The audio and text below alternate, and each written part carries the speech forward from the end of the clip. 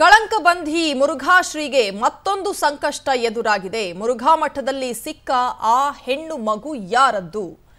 ನಾಲ್ಕು ವರ್ಷದ, ನಾಲ್ಕೂವರೆ ವರ್ಷದ ಮಗುವನ್ನ ಮಠದಲ್ಲಿ ಬಿಟ್ಟು ಹೋಗಿದ್ಯಾರು?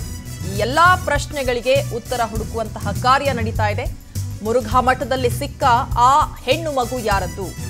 ನಾಲ್ಕೂವರೆ ವರ್ಷದ ಮಗುವನ್ನ ಮಠದಲ್ಲಿ ಬಿಟ್ಟು ಹೋಗಿದ್ಯಾರು? ಮುರುಘಾ ಶ್ರೀಗಳಿಗೂ ಆ ಮಗುವಿಗೂ ಸಂಬಂಧವಿದೆಯಾ? ಈ ಎಲ್ಲ ವಿಚಾರಗಳಿಗೆ ಪ್ರಶ್ನೆ ಹುಡುಕುವಂತಹ ಕಾರ್ಯ ನಡೀತಾ ಇದೆ. ಕಳಂಕಬಂಧಿ ಮುರುಘಾ ಶ್ರೀಗೆ ಮತ್ತೊಂದು ಸಂಕಷ್ಟ ಎದುರಾಗಿದೆ. ಹೆಣ್ಣು ಮಗುವಿನ ಪೋಷಕರ ಬಗ್ಗೆ ಮಾಹಿತಿ ಲಭ್ಯವಿಲ್ಲ. ಪತ್ರಿಕಾ ಜಾಹೀರಾತು ನೀಡಲಾಗಿದೆ. ಮಕ್ಕಳ ರಕ್ಷಣಾ ಘಟಕ ಪತ್ರಿಕಾ ಜಾಹೀರಾತು ನೀಡಿದೆ.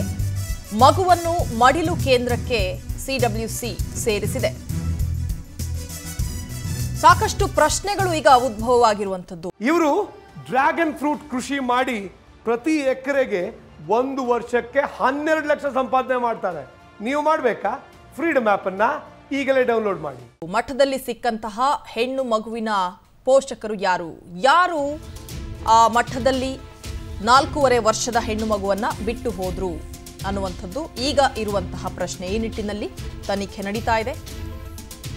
ಒಂದು ಕಡೆ ವಿದ್ಯಾರ್ಥಿನಿಗೆ ಲೈಂಗಿಕ ಕಿರುಕುಳ ಕೊಟ್ಟಂತಹ ಹಿನ್ನೆಲೆಯಲ್ಲಿ, ಆ ಆರೋಪದ ಹಿನ್ನೆಲೆಯಲ್ಲಿ ಮುರುಘಾ ಶ್ರೀಗಳು ಜೈಲು ಪಾಲಾಗಿರುವಂಥದ್ದು. ಮತ್ತೊಂದು ಕಡೆ, ಮಹತ್ವದ ಬೆಳವಣಿಗೆಯೊಂದರಲ್ಲಿ ಮುರುಘಾ ಮಠದಲ್ಲಿ ಒಂದು ಹೆಣ್ಣು ಮಗು ಪತ್ತೆಯಾಗಿರುವಂಥದ್ದು. ಈ ಹೆಣ್ಣು ಮಗು ಯಾರದ್ದು?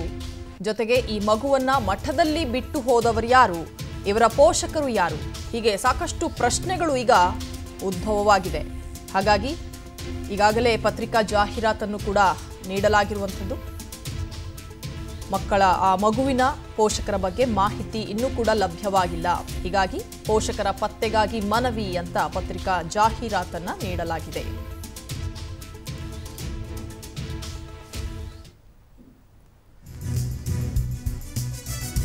ಮುರುಘಾಶ್ರೀ ವಿರುದ್ಧ ಎರಡನೇ ಪೋಕ್ಸೋ ಪ್ರಕರಣ. ಮೈಸೂರಿನಿಂದ ಚಿತ್ರದುರ್ಗಕ್ಕೆ ಈ ಪ್ರಕರಣ ವರ್ಗಾವಣೆ ಆಗಲಿದೆ. ನಜರಾಬಾದ್ ಠಾಣೆಯಿಂದ ಚಿತ್ರದುರ್ಗದ ಗ್ರಾಮೀಣ ಠಾಣೆಗೆ ಈ ಪ್ರಕರಣ ಶಿಫ್ಟ್ ಆಗಲಿದೆ. ಇಂದು ಬಾಲಕಿಯರನ್ನ ಚಿತ್ರದುರ್ಗಕ್ಕೆ ಕರೆತರುವಂತಹ ಸಾಧ್ಯತೆ ಇದೆ. ಬಾಲಕಿಯ ಹೇಳಿಕೆ ಪಡೆದ ಬಳಿಕ ಸ್ಥಳ ಮಹಜರು ಮಾಡುವಂತಹ ಸಾಧ್ಯತೆ ಕೂಡ ಇದೆ. ಸಿಡಬ್ಲ್ಯೂಸಿ ಮುಂದೆ ಬಾಲಕಿಯರ ಹೇಳಿಕೆಯನ್ನ ಪೊಲೀಸರು ಪಡೆಯಲಿದ್ದಾರೆ. ಮುರುಘಾಶ್ರೀ ವಿರುದ್ಧ ಎರಡನೇ ಪೋಕ್ಸೋ ಪ್ರಕರಣಕ್ಕೆ ಸಂಬಂಧಪಟ್ಟಂತೆ ಮೈಸೂರಿನಿಂದ ಚಿತ್ರದುರ್ಗಕ್ಕೆ ಪ್ರಕರಣ ವರ್ಗಾವಣೆ ಆಗಲಿದೆ. ನಜರಾಬಾದ್ ಠಾಣೆಯಿಂದ ಚಿತ್ರದುರ್ಗ ಗ್ರಾಮೀಣ ಠಾಣೆಗೆ ಈ ಪ್ರಕರಣ ವರ್ಗಾವಣೆ ಆಗಲಿದೆ. ಇವತ್ತು ಬಾಲಕಿಯರನ್ನ ಚಿತ್ರದುರ್ಗಕ್ಕೆ ಕರೆತರುವಂತಹ ಸಾಧ್ಯತೆ ಕೂಡ ಇದೆ. ನೋ ಬಾಲಕಿಯ ಹೇಳಿಕೆಯನ್ನ ಪಡೆದ ಬಳಿಕ ಸ್ಥಳ ಮಹಜರು ಮಾಡುವಂತಹ ಸಾಧ್ಯತೆ ಕೂಡ ಇದೆ. ಸಿಡಬ್ಲ್ಯೂಸಿ ಮುಂದೆ ಪೊಲೀಸರು ಬಾಲಕಿಯರ ಹೇಳಿಕೆಯನ್ನ ಪಡೆಯಲಿದ್ದಾರೆ. ಈಗಾಗಲೇ ಜೈಲು ಪಾಲಾಗಿರುವಂತಹ ಮುರುಘಾ ಶ್ರೀಗಳ ವಿರುದ್ಧ ಮತ್ತೊಂದು ಆರೋಪ. ಎರಡನೇ ಪೋಕ್ಸೋ ಕೇಸ್ ದಾಖಲಾಗಿದೆ. ಈ ಹಿನ್ನೆಲೆಯಲ್ಲಿ ಸಿಡಬ್ಲ್ಯೂಸಿ ಮುಂದೆ ಬಾಲಕಿಯರ ಹೇಳಿಕೆಯನ್ನ ಪೊಲೀಸರು ಪಡಿತಾರೆ. ಜೊತೆಗೆ ಸ್ಥಳ ಮಹಜರು ಕಾರ್ಯ ಕೂಡ ಇವತ್ತು ನಡೆಯಲಿದೆ. ಚಿತ್ರದುರ್ಗಕ್ಕೆ ಈ ಪ್ರಕರಣ ಶಿಫ್ಟ್ ಆಗುವಂತಹ ಸಾಧ್ಯತೆ ಇದೆ.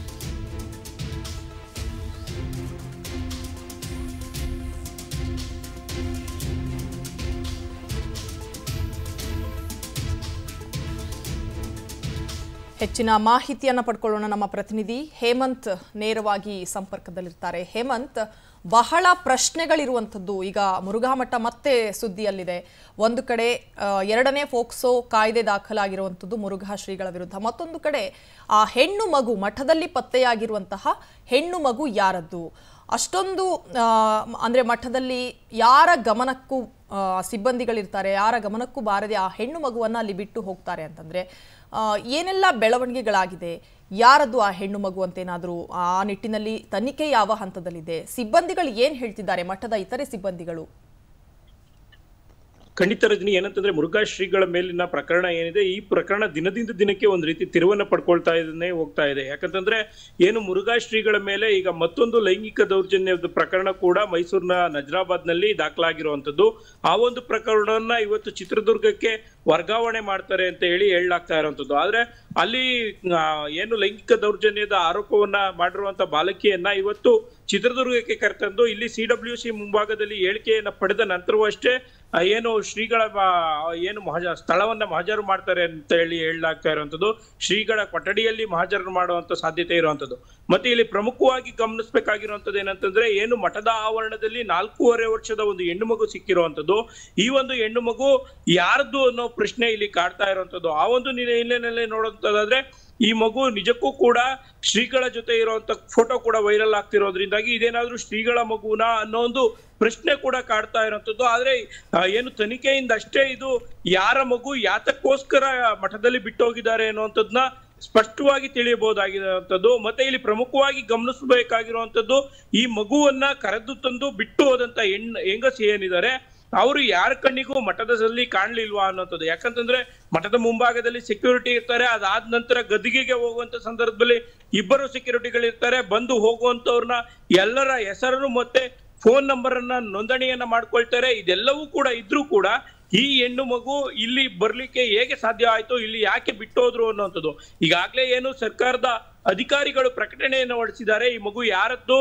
ಈ ಮಗುವಿನ ಸಂಬಂಧಿಕರು ಯಾರಾದರೂ ಇದ್ರೆ ಬಂದು ಆ ಮಗುವನ್ನು ಕರೆದೋಗಿ ಅಂತ ಹೇಳಿ ಆದ್ರೆ ಈವರೆಗೂ ಕೂಡ ಯಾರು ಕೂಡ ಈ ಮಗು ನನ್ನದು ಅಂತ ಹೇಳಿ ಬಂದಿಲ್ಲದೆ ಇರೋ ಕಾರಣದಿಂದಾಗಿ ಮತ್ತೆ ಶ್ರೀಗಳ ಜೊತೆ ಇರೋಂತ ಫೋಟೋ ಕೂಡ ಈ ಮಗುವಿನ ಜೊತೆ ಇರುವಂತ ಫೋಟೋ ವೈರಲ್ ಆಗಿರೋದ್ರಿಂದಾಗಿ ಎಲ್ಲೋ ಒಂದ್ ಕಡೆ ಸಂಶಯಕ್ಕೆ ಎಡೆ ಮಾಡಿಕೊಟ್ಟಿರುವಂತದ್ದು. ಮತ್ತೆ ಈಗ ಏನು ನಿನ್ನೆ ಅಷ್ಟೇ ಹೈಕೋರ್ಟ್ನ ಮೊರೆಯನ್ನ ಕೂಡ ಹೋಗಿದ್ರು. ಆ, ಏನು ಮಠದ ಲಾಯರ್ ಇದ್ದಾರೆ, ಅವರು ಹೈಕೋರ್ಟ್ನ ಮೊರೆಯನ್ನ ಹೋಗಿದ್ದಾರೆ ಜಾಮೀನು ಬೇಕು ಅಂತೇಳಿ ಏನು ಇಬ್ಬರು ಹಿಂದೆ ಇಬ್ಬರು ಹೆಣ್ಣು ಮಕ್ಕಳು ಒಂದು ಪ್ರಕರಣವನ್ನ ದಾಖಲು ಮಾಡಿದ್ರು ನಜರಾಬಾದ್ನಲ್ಲಿ ಆ ಒಂದು ಹೆಣ್ಣು ಮಗು ಒಂದ್ ಇಬ್ಬರಲ್ಲಿ ಒಬ್ಬರು ಹೆಣ್ಣು ಮಗು ಏನು ಹೇಳಿಕೆಯನ್ನ ಕೊಟ್ಟಿದ್ದಾರೆ, ಶ್ರೀಗಳು ಲೈಂಗಿಕ ದೌರ್ಜನ್ಯವನ್ನ ಮಾಡಿಲ್ಲ ಅಂತ ಹೇಳಿ ಆ ಒಂದು ಹಿನ್ನೆಲೆಯಲ್ಲಿ, ಏನು ಆ ಒಂದು ಪ್ರಶ್ನೆಯನ್ನ ಹಾಕಿ ಹೇಳಿಕೆಯನ್ನು ಕೊಟ್ಟಿರೋದ್ರಲ್ಲಿ ಅವರು ಲೈಂಗಿಕ ದೌರ್ಜನ್ಯ ಮಾಡಿಲ್ಲ ಅಂತ ಹೇಳ್ತಾ ಇದ್ದಾರೆ ಅಂತ ಹೇಳಿ ಲಾಯರ್ ಹೈಕೋರ್ಟ್ನ ಮೊರೆ ಹೋಗಿರುವಂತದ್ದು ಶ್ರೀಗಳಿಗೆ ಜಾಮೀನನ್ನ ನೀಡಬೇಕು ಅಂತ ಹೇಳಿ. ಆದ್ರೆ ಈ ಜಾಮೀನನ್ನ ನೀಡಬೇಕು ಅಂತ ಹೇಳಿ ಹೈಕೋರ್ಟ್ ಮೊರೆ ಹೋದ ತಕ್ಷಣವೇ ಮತ್ತೊಂದು ಪ್ರಕರಣ ಮೈಸೂರಿನ ನಜರಾಬಾದ್ನಲ್ಲಿ ದಾಖಲಾಗಿರುವಂತದ್ದು.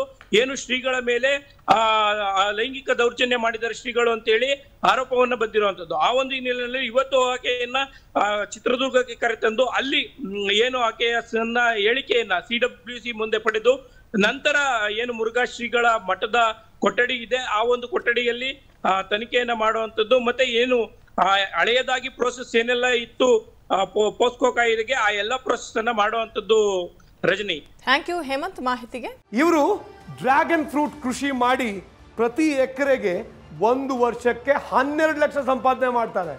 ನೀವು ಮಾಡಬೇಕಾ? ಫ್ರೀಡಮ್ ಆ್ಯಪನ್ನು ಈಗಲೇ ಡೌನ್ಲೋಡ್ ಮಾಡಿ.